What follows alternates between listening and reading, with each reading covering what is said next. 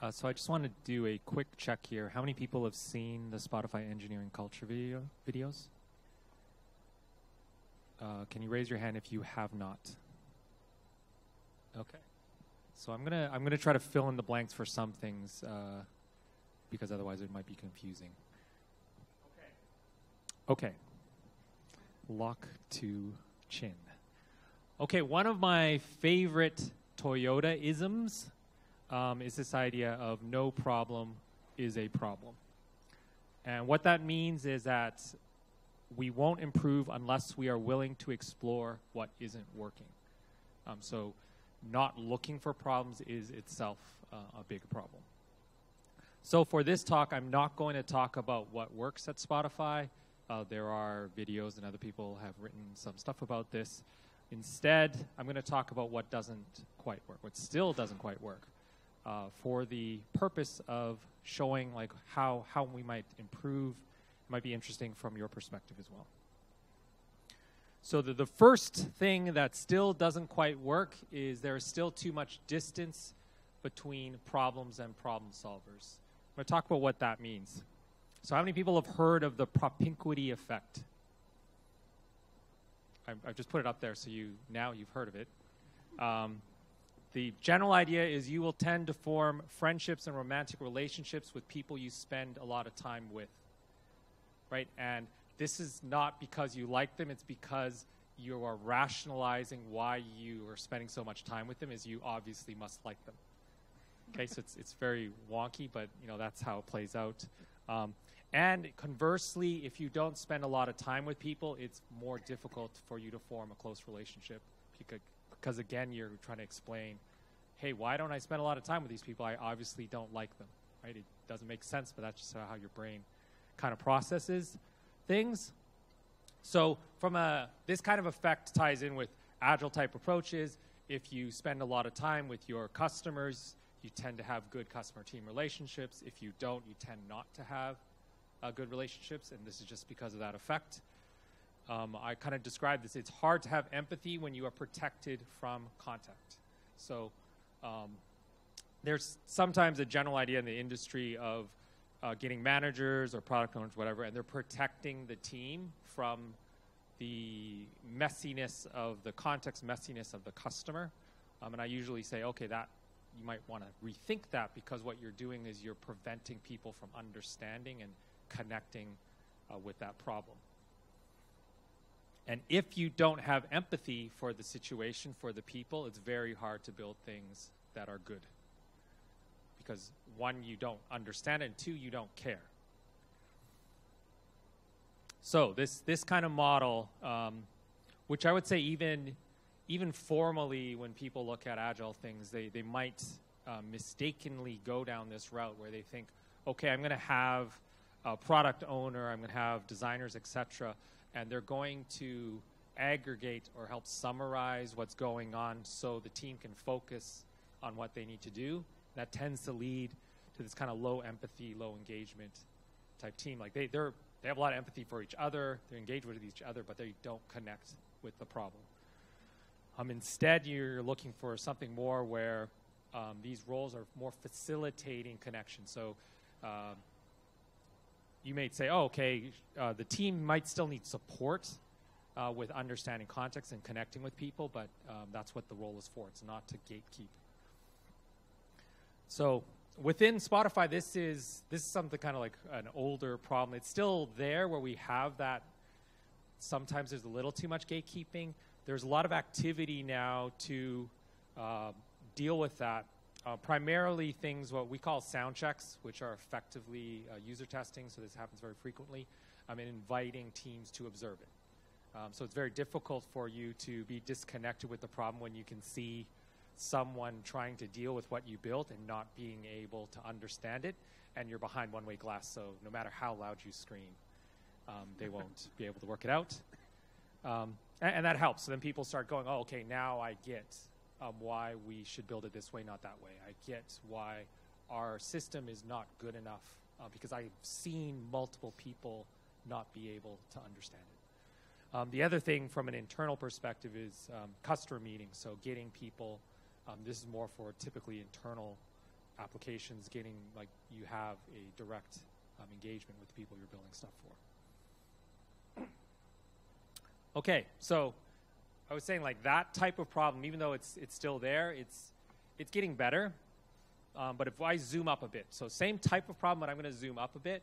Um, at Spotify, when we say cross-functional, we're not talking about different skills within a team. We're talking more about the difference between uh, what we call R&D and what we call business. So R&D is effectively product delivery. Uh, used to be called technology product design, but now we call it R&D because um, people like that better. Um, and there's distance between those two parts of the organization. If you, for people who've seen that Spotify engineering culture video, that was talking about product delivery, as in R&D. It wasn't talking about the business per se. Um, the business, like the entire company, used to be almost entirely R&D. So obviously, like there's this kind of fundamental culture there. But uh, in the last while, we've grown a lot in terms of business, pure business operation type thing, and you you are seeing this kind of split uh, between the two. And what's the problem with that is effectively what I talked about before at a larger scale. So you have this this distance hard to have empathy with the business operation side because traditionally, um, traditionally, and by traditionally I mean like a year or two, so it's not that long, but um, traditionally there's distance there. Um, and I suspect the reason why we've been able to get away with that kind of uh, distance um, is because previously uh, our product uh, was reflective of users with high intent and employees with high intent. So people who are really into music, uh, that was sort of the main thing you needed to worry about. And employees were really into music, so you could effectively rely on your own instincts to be pretty close to what you needed to understand, um, to identify with the group uh, that you're building for. And we can't get away with that anymore, right? So I kind of I haven't even listed all the different stakeholders that are involved now, but effectively we have a quite complicated multi-sided market, um, as well as business operations departments that are supporting that market, and they're all different. Um, and I can't rely on employees having high intent on it because, for the most part, nobody, for example, um, uh, studies advertising as a hobby. They, they, might. There, there actually is a guy I know who does, um, but he's kind of strange. Um, most people, most people, they can't connect. So I can no longer rely on, oh, we don't need to uh, worry about distance because you like naturally are involved in this. Uh, now we have to say, okay, uh, I need to get people together because otherwise it's very unlikely that they'll understand uh, what they're building for, whether or, or, even care. Okay, so the question here, and this is actually one where I don't know necessarily what will fix this, um, but there, there's a question here of whether this structure, which we have currently with the R&D versus business, does that does that work? Um, or do we need to think about something uh, different? Have we kind of moved to a different context here? Um, and there are there are movements here, at least uh, you know, temporarily for initiatives and potentially longer term to adjust this so that we can correct that distance. We do have time at the end for questions, but if you have anything that you want to ask in the meantime, especially for people who are not familiar with how we're structured and haven't watched the videos, etc., feel free to ping me and I can, we'll either throw that box up or I'll repeat the question and we can cover that. Okay, so uh, distance was the first kind of major thing that still doesn't quite work. Um, the other one is there is still too much specialization. This is something I noticed, and I'm, I'm not sure um, whether it is just a Spotify thing or a tech culture thing or a, um, a US thing, because I, have noticed something very different because um, I used to work in Australia for a while and I didn't really have this effect as much, potentially due to a lower population. But I noticed when I joined is that there was a lot of specialization, as in people would say, I do front end stuff, or I do back end, I do data, I do iOS, I do Android. We have this thing called full stack, uh, but that's somewhat rare. Um, so, and there, there's a lot of issues associated with that because then you'll hear things like, there's not enough front end work to do, or I have to plan things because otherwise the back end people don't have things to do. Um, which I always found I found very odd because typically, um, in my background, um, you just did whatever was necessary to do. Um, it would just be like, what's the next problem? If you didn't have the skill, you just learn it. Um, and that was what kind of expected. So this is kind of weird. Um, and, and I, I, thought, like, what, what, is, what is causing this? Like, what's, what's the dynamic here? Why does a specialization occur? At least one aspect um, I think is going on um, is this kind of interesting non-obvious dynamic that occurs when you pair a lot.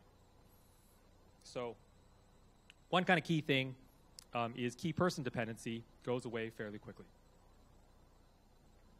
Right? If you pair up, um, eventually, um, and I mean like very quickly, you no longer rely on one person knowing how to do something, just because you kind of absorb very rapidly um, I, I, should, I should say if you're doing it well, like you, you could also just not pay attention and then you don't pick up anything. But generally, if the kind of expectation, hey, you're working together and you're saying, okay, you have to rapidly pick this up because you're expected to do that, you, you notice that, oh, we no longer rely on any one person doing something because generally everyone can pick it up pretty fast.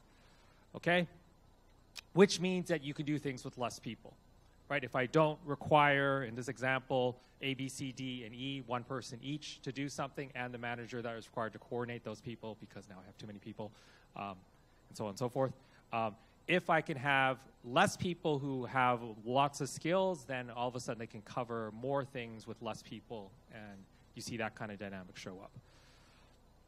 So I wonder because effectively what we're seeing here is the thing which I have on the right here, like the things with the eyes. How many people heard of the idea of T-shaped people? Oh, wow, it's not that many. Can I get the hands of who don't know what I'm talking about when I say T-shaped? Ooh, okay. Okay, I'm going to do a bit of switch. Here's a bit of a lesson. Um, the I-shaped means that you are specialized in one skill. So I have one skill that I'm very good at that looks like an I. A T means that I'm good at one thing, but I also have breadth of knowledge across lots of other things. So it's kind of a generalist plus specialist. Uh, if I just had a the top bar there, so a horizontal line, that would be a generalist. Now, traditionally in kind of agile circles, we talk about it important to be a generalizing specialist because you need the level of skill. So I need the specialist skill, so the depth of knowledge there. But I also want that crossbar because I need to collaborate right? I can't do it all myself, so having an ability to understand across multiple things allows me, one, to collaborate, and two, um, if you think about the type of work you do all the time, not everything requires specialist skill, so I have more people who have generalist skill. We can kind of move work around.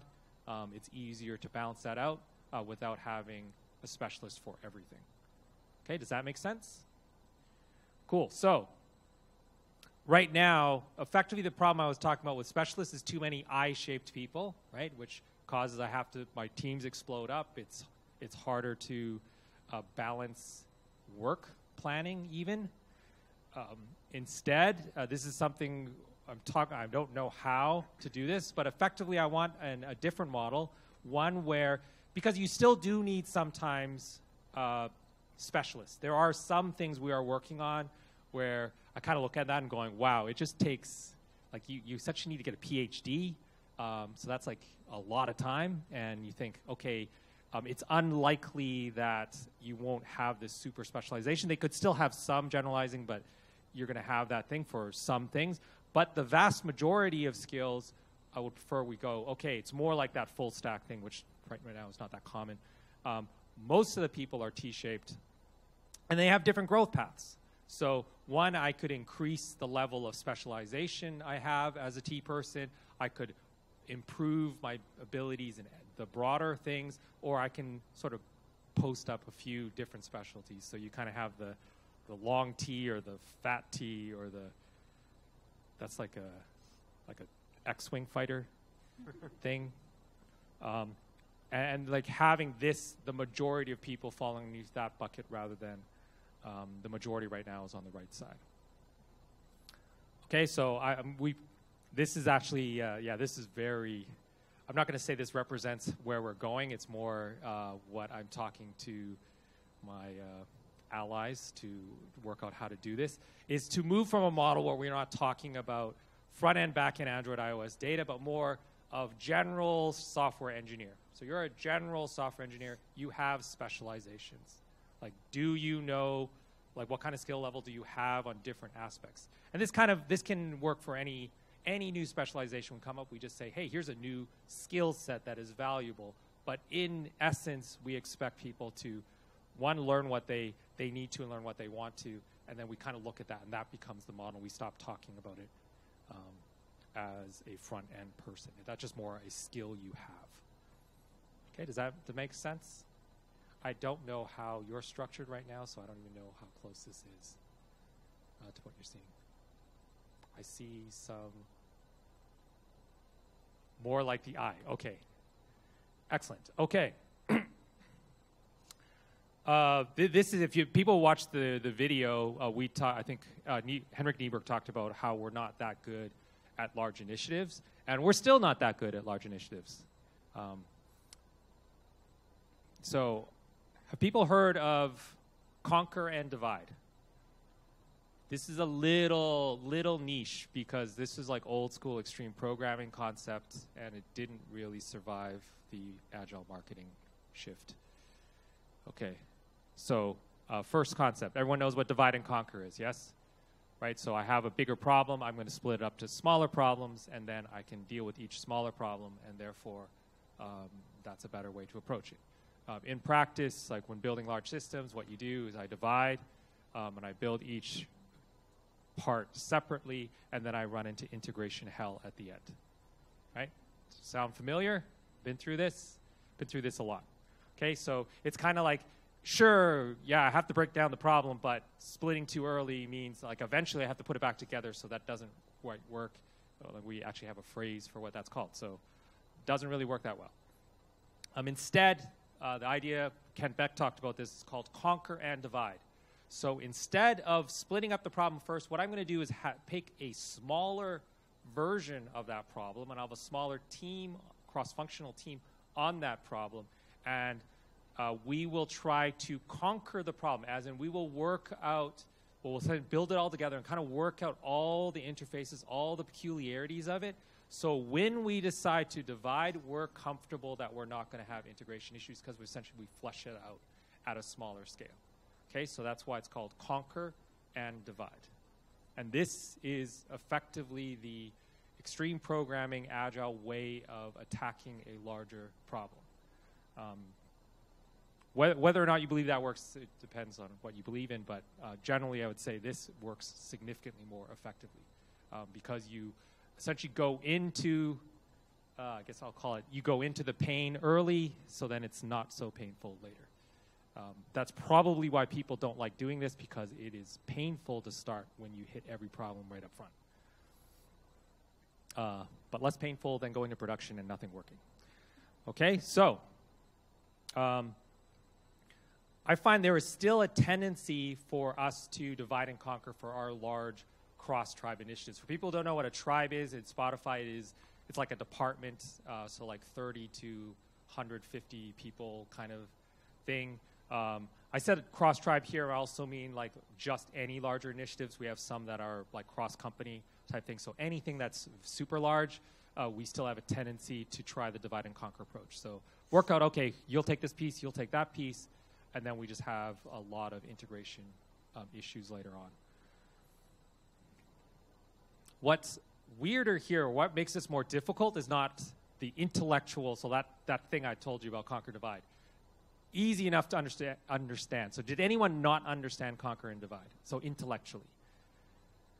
Okay, easy enough, right? I, it's kind of because you'd have to put your hand saying I'm, a, I'm an idiot, but so no one's gonna do that. But, but like generally not that difficult to understand. The issue is that can you do it, right? So um, I remember like we've done I kind of help facilitate retrospective for like three major large initiatives. This problem came up multiple times. We said, hey, why don't we do this instead? Like, we'll do some kind of combined kickoff. We'll do some kind of combined thing. That should flesh out the problems. We won't see this again. Did that like multiple times. We still do it. So, um, which means that this is no longer the problem. Like, the the concept, the idea of conquer and divide and, and that kind of early pain is not the problem. It's how to cross this knowing doing gap. right? So when you know what the correct thing to do and people still don't do it, how do you deal with that problem? Um, and my answer is I don't know yet. Um, but hey, that's what this talk is about. Okay.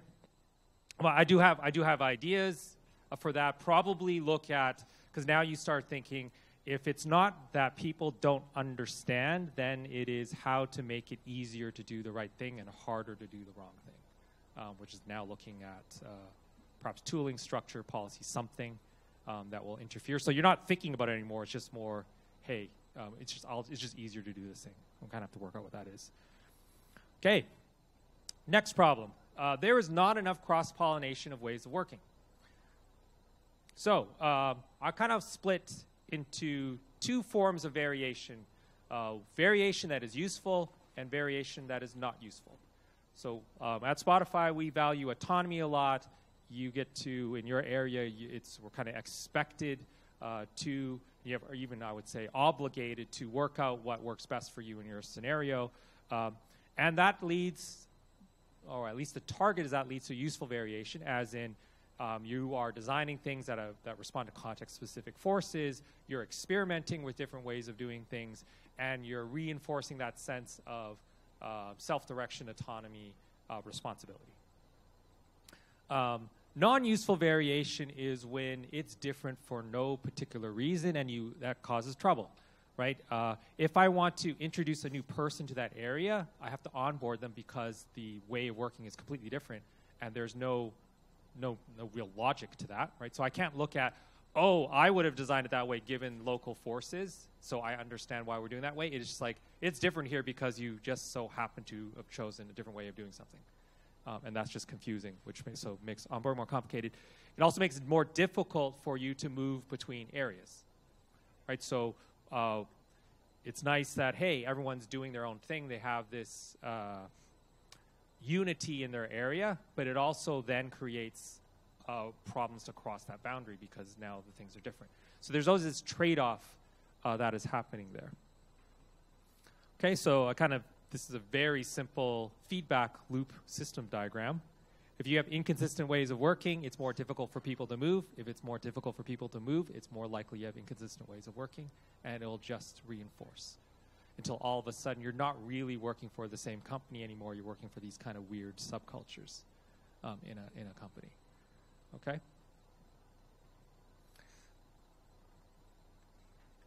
So, are people familiar with uh, aligned autonomy? Oh, only one? I thought you said you watched the video. Who was the second one, I think? Okay, autonomy. So, uh, there's kind of a uh, I'll say one thing. So autonomy does not mean you get to do whatever you feel like doing. That's, a very shallow way of thinking about it.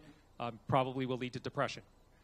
Um, autonomy means you feel like you are able to use all your freely use all your abilities to achieve some kind of grand, more collective outcome, something like that. That's more likely for you to be psychologically healthy, strong, etc.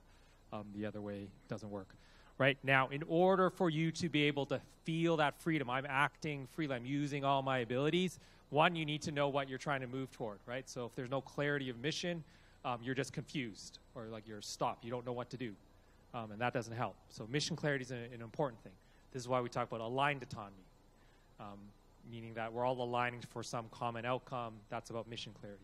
The other aspect, but like that's not enough. That's not enough. The other aspect is you actually have to know what you're doing. So just because uh, we know, understand the collective goal, doesn't mean we actually have the skills required to do it.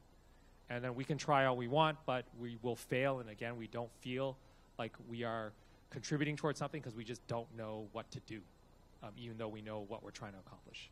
Does that make sense? Okay, so two pillars there. Um, there's a book called uh, Turn the Ship Around by L. David Marquet, um, which is quite good. Uh, also, he has like a YouTube video on this, so that's good. Okay, so, and I'm kind of focused on the right-hand side because I think we've gotten a lot better at uh, alignment, uh, but we don't emphasize the other other pillar of competence enough. Uh, our autonomy gets down to people tend to, like we don't have like a standard here's standard engineering practice per se. There is some, uh, but not as deep as I would like. Um, and there are certain habits, I would say, in the kind of agile space that are not easy to derive on your own. It took a long time for people to come up with this stuff. It's probably not useful for you to invent it yourself from scratch. Um, and these are the four that I would say as examples. Trying to derive test driven development, like skilled test driven development from scratch, is difficult. Um, conquer and divide, given most of you didn't even know about it, um, difficult. Evolutionary architecture, how do I build something such that I don't have to build it all at once and that I can still evolve towards something that scales up? Um, you go, hey, oh, it's easy. I can just iterate this architecture. It's not that easy. You can sort of paint yourself in a hole if you're not careful. Um, and pair programming, working well together, two people one thing, that's not a trivial habit uh, to derive. And effectively, we, we kind of expect that. Um, to some extent, we were okay when there were more old people. I mean old people, not as in legally protected old people, but um, old people as in people who have been at Spotify for a long time um, versus people that are coming in. Um, in the past, there would be more experienced Spotify people versus new people. Our growth rate is so rapid recently um, that if you, like, and this is something we actually talked about, we step back and say, hey, wait a minute, uh, what percentage of people have been here for over a year? And they'll be like, oh, that's like 10% of this, this, group here. And going, okay, we can no longer rely on, oh, we'll just let them kind of do. And we'll just, we'll rely on tacit knowledge and people will just kind of pick it up and you're going, wait a minute, when, it's more likely that the old people will pick up the habits of the new people than vice versa, right? Because we're just completely outnumbered. So um, you can no longer rely on norms and tacit knowledge when you are outnumbered. Uh, I'm gonna I'm gonna use my pickle metaphor here. Has anyone heard of Prescott's pickle principle? This is from Jerry Weinberg. No, because you're not consultants, so you won't know this. Okay, so um, if you can imagine, uh, there's a two cucumbers talking to each other. One's like the grandpa cucumber, one's like the kid cucumber. Okay, and they're talking about this phenomenon where cucumbers go and they kind of visit this pickle jar. And all the cucumbers think, okay, you know what, I'm not going to be pickled by this pickle jar. I'm the toughest cucumber you ever knew. So I'm going to go in that pickle jar and I'm going to cucumber those pick- pickles. And the young cucumber talks to the grandpa cucumber says, So what happened to that cucumber? You know what happened, right? Nobody beats the brine, son. Yeah, so no matter what you try to do, yeah, it's a horrible, funny story. That's they he Weinberg does it, so you don't forget. Um, when you are outnumbered, you will be absorbed by that culture. And that's like you weren't consultants of that because when they go in there, all of a sudden they're not consulting anymore. They're just parroting what you say because they no longer can think differently. Um, and effectively, when in the, in the early days, we were able to pickle new people.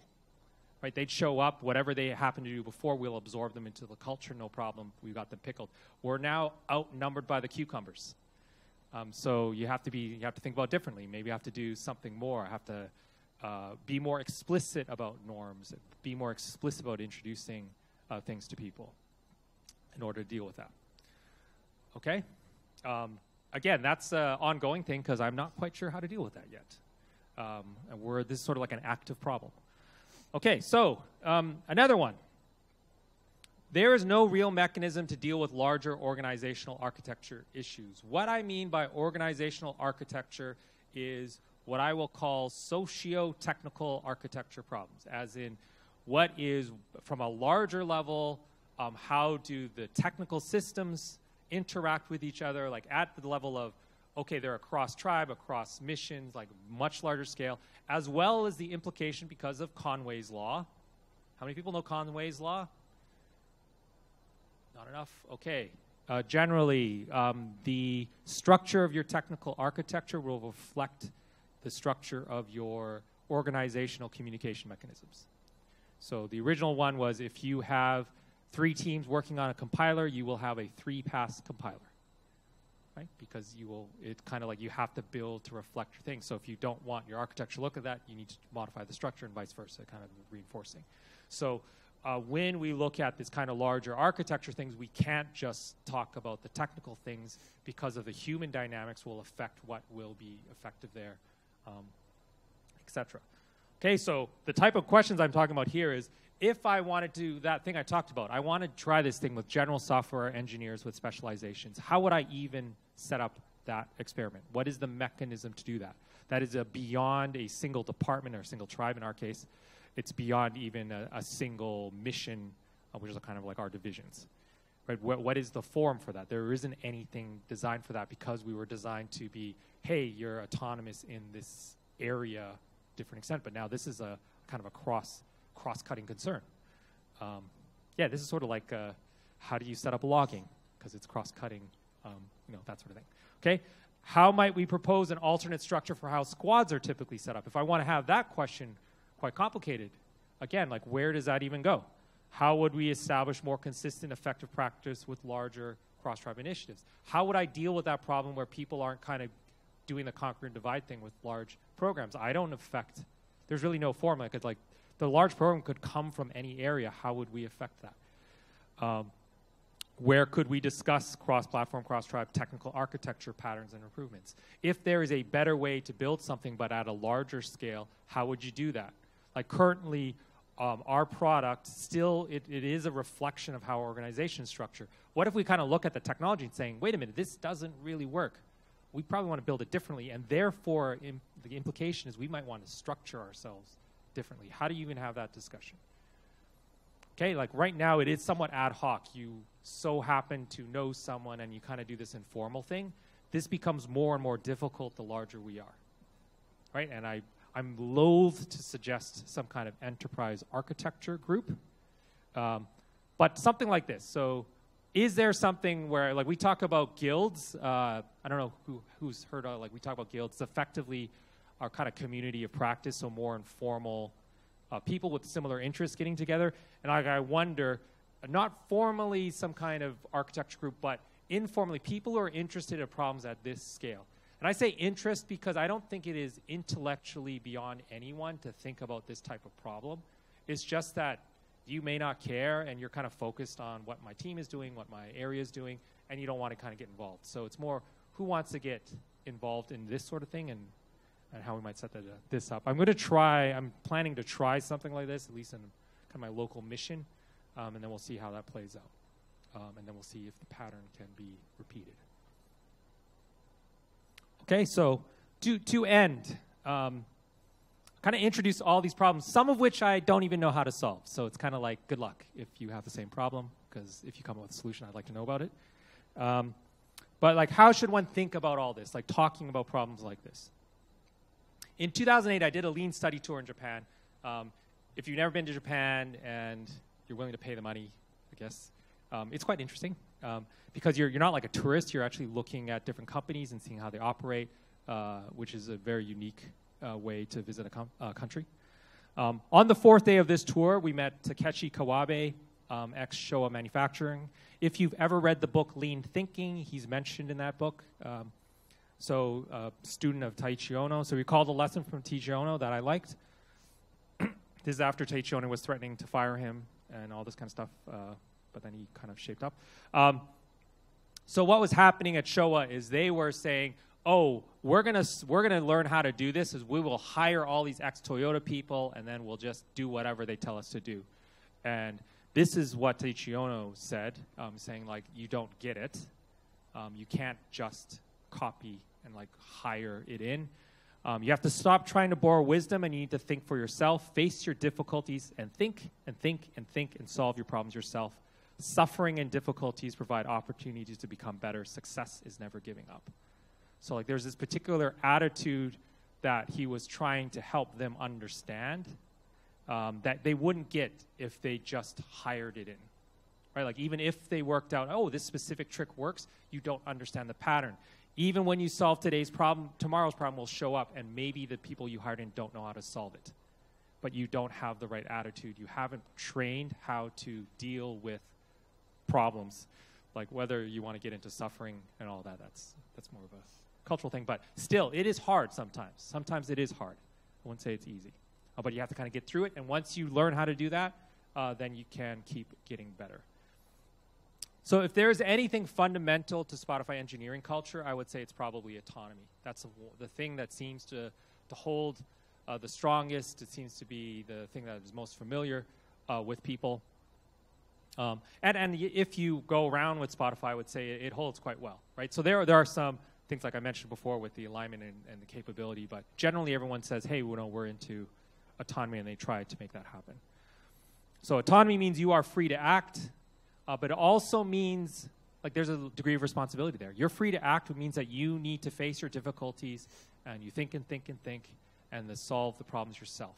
The fact that you do this is a sign of autonomy. If someone else solves the problem for you, that's not autonomous. That's you are just following what other people are doing. And so autonomy means you succeed by never giving up, that you work through all of this and believe that you can find a solution. So the question before I, I open up here is really what doesn't quite work at Cerner and how are you trying to solve it? You very much.